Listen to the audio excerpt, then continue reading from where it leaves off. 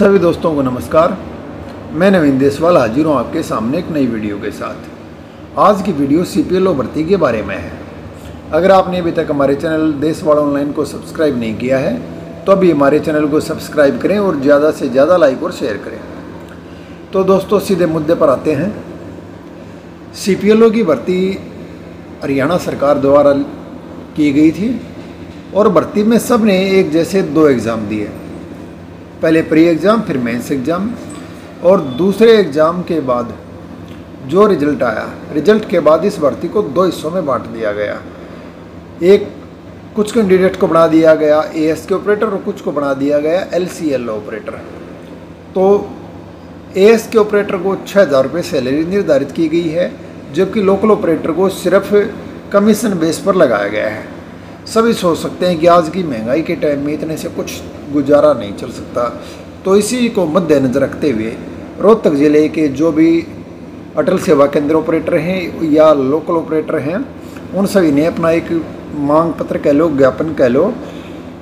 गाँव जसिया में ex C M Manohar Lal Khattar ji की रैली थी, वहाँ पर जाकर उनको एक ज्ञापन सौंपा। तो हमने क्या ज्ञापन दिया है? कल जैसे एक वीडियो आई थी मेवात साइड से कि उन लोगों ने सीएम साहब को ज्ञापन सौंपा है तो आज हमने सौंपा है भाई। तो इसी प्रकार अगर सभी कोशिश करेंगे तो सरकार ज़रूर इस पर ध्यान देना चाहिए। तो मैं आपको बता देता हूँ कि हमने क्या अपनी मांगे रखी हैं लोकल ऑपरेटर्स और आस्को ऑपरेटर ने।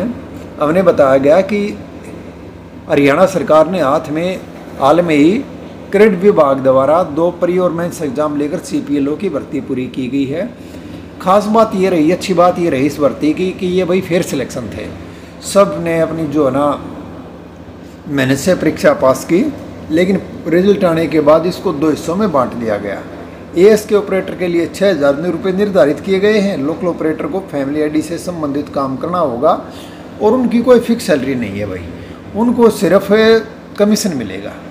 और आप जानते हैं कि आज के समय महँगाई में छः हज़ार रुपये से किसी परिवार का खर्चा उठा जाना है ना असंभव सा ही तो भाई, हमने अपनी जो मांगी रखी हैं, वो ये थी मोटी मोटी सी मैं आपको बता देता हूँ। पहला ये कि भाई ए एस के ऑपरेटर और तथा एल सी एल ओ दोनों ने एक ही परीक्षा दी है।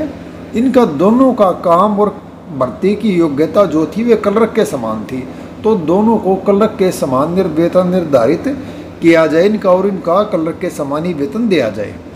नंबर दो जो कि लोकल ऑपरेटर को कहा गया कि कमीशन बेस पर मेहनता ना मिलेगा। वो भी बिल्कुल गलत है भाई।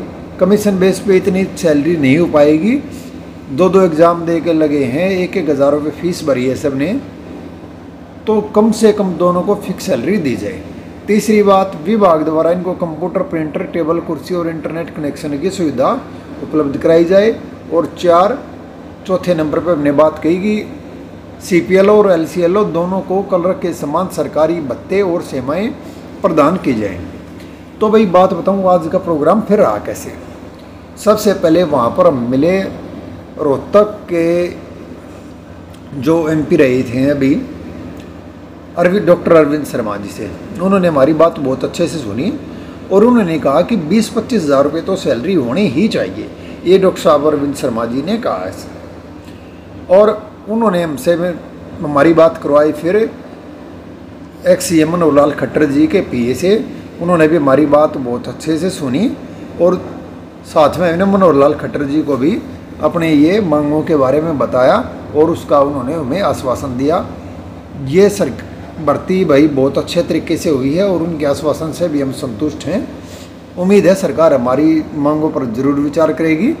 और भाई बाकी भी जो अदर डिस्ट्रिक्ट के कैंडिडेट हैं, उनसे भी मैं कहूँगा कि इलेक्शन का टाइम है, हर जगह आपको चंडीगढ़, पंचकुला जाने की भी ज़रूरत नहीं है, हर जगह रैलियाँ हो रही हैं, समारोह हो रहे हैं तो वहाँ पर आप अपने नेताओं से मिल सकते हैं।